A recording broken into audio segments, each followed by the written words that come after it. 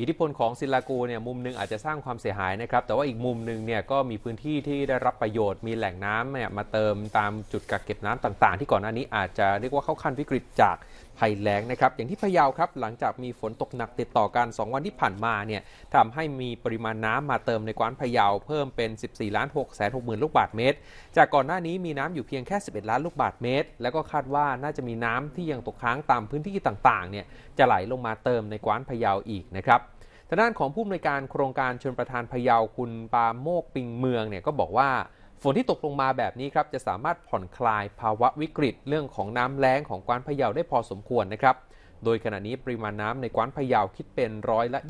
26.34 ของปริมาณกักเก็บน้ำรวมที่สามารถเก็บได้เขาเก็บได้เนี่ยประมาณ